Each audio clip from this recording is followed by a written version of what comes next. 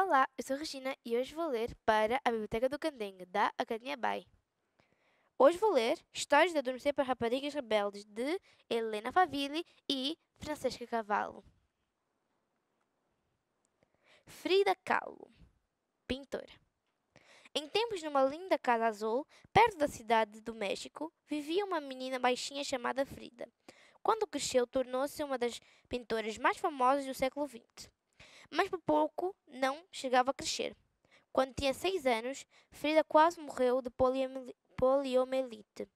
A doença deixou-a coxar para sempre, mas isso não a impediu de brincar, nadar e andar à luta como os outros miúdos. Quando tinha 18 anos, viu-se envolvida num terrível acidente de autocarro. Quase morreu mais, mais uma vez. E mais uma vez passou meses a fio de cama, a mãe construiu-lhe um cavalete especial para ela poder pintar deitada, porque mais do que qualquer coisa, Frida adorava pintar. Assim que pôde andar outra vez, foi ter com artistas mais com o artista mais famoso do México, Diego Rivera. Os meus quadros valem, algum, valem alguma coisa? perguntou-lhe. Os quadros eram fabulosos decididos, garridos e lindíssimos, ele apaixonou-se por aqueles quadros e também se apaixonou por Frida. Diego e Frida casaram-se.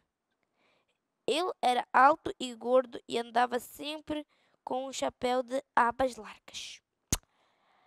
Ao lado de Frida parecia minúsculo.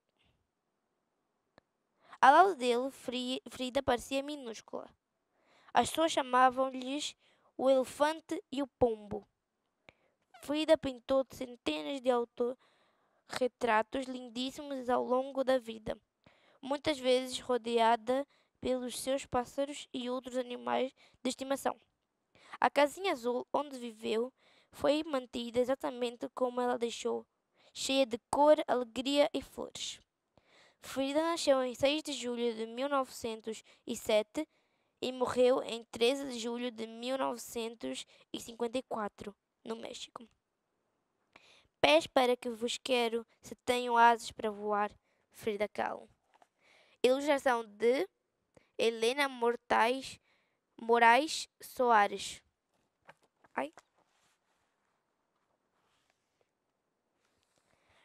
Bom, e assim terminamos a nossa, a nossa história. Nos vemos no próximo Biblioteca do Candengue. Tchau!